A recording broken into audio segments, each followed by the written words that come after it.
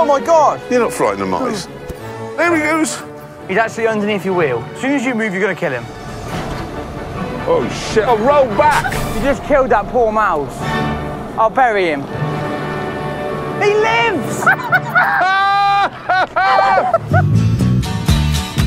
So I could do another bag. You can cope with one though. You know, grain, can't you? If you can't go on, you know what I mean? yeah, we'll be able to. Yeah. Here's my plan. Cows. No, no, no! Stop it! I'm being attacked by a cow! Cows might get tuberculosis because of all the badgers. You can't shoot them. Nope. Gas them. Nope. You don't just hit it with a hammer. No, you absolutely do not just hit it with a hammer. My next plan. A restaurant. You can eat cock. Okay, more chilies.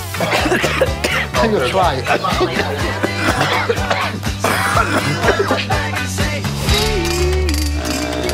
Oh man, I feel it for you. That's fantastic. Welcome to Agriculture, Health and Safety. No, no, no, shit! Ah! Oh my god! I had to clear up the dog shit while my sausages were cooking. Your dog's But your you- shit. Honestly. What a twat. Drop me off over there, Where? Just by the red carpet. I'm not dropping you by the red carpet. Why? I am not your chauffeur.